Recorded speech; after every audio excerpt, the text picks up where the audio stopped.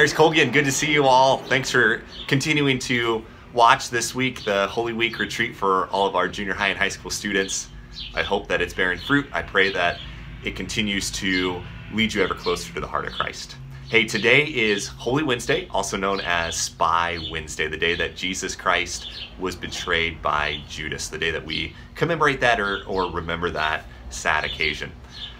I'm convinced that the most suffering that Christ endured was not physical suffering, but it was the suffering caused by betrayal. You know, here's Judas, who is one of the intimate friends of Christ, one of the um, closest to our Lord. You know, they shared conversation, they shared meals together, they shared um, everything. They spent so much time together.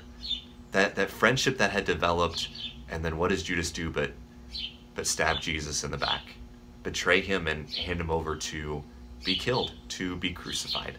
I, I you know, you can face as much physical suffering as you want, but to be betrayed by a friend or to be backstabbed by a friend, it cuts you right here. It cuts you right to the core. Um, and so today, I encourage you to reflect on that, to reflect on the suffering of Christ, um, not his physical suffering, but the emotional and mental suffering that he faced because of betrayal. Um, and I also encourage you to think of your own friends. You know, think of your best friends and how much they mean to you, how much you cherish them, uh, the gift of friendship that you share with them. I'm lucky to be here in Pittsburgh. I'd say two of my closest friends going back to seminary were Father Jorge and Father PJ. Two wonderful priests, two wonderful men who I can go to and talk to, who I can go to and, um, you know, share conversation with, share meals with, just hang out, throw a disc golf, go for a rosary walk, whatever it is. We, you know, I treasure their friendship. And if one of them betrayed me, ah, that would hurt so much. Um, but I, I know they won't. I trust that they won't.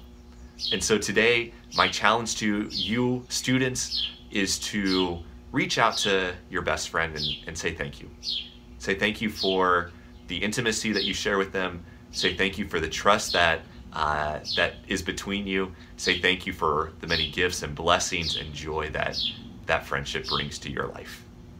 May Almighty God bless you, the Father and the Son and the Holy Spirit.